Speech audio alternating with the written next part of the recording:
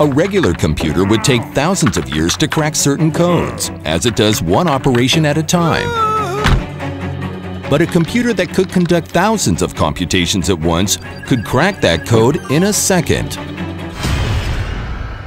Computers are basically a huge bunch of transistors, electronic switches that encode the basic computing bits, ones and zeros, kinda like a light switch.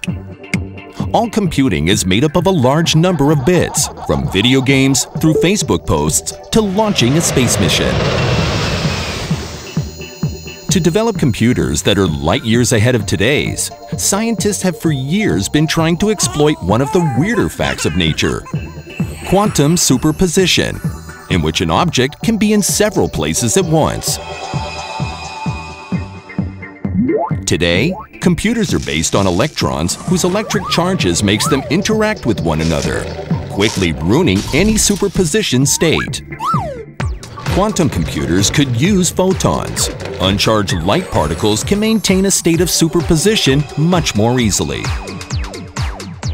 Weizmann Institute scientists have succeeded for the first time in building a transistor that switches and guides not electrons, but photons, a photonic router. To control the photon's movement, the scientists trapped a single atom on a chip, sending it photons with a special, minute optical resonator. The resonator holds the photons for a millionth of a second, forcing them to interact with the atom. The photons flip the state of the atom like a switch, sending the next photon in line either left or right.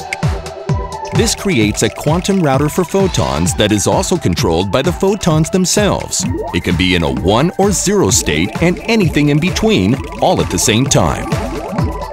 This research is another step forward toward quantum computing technology, in which computation will be carried out by light instead of electricity.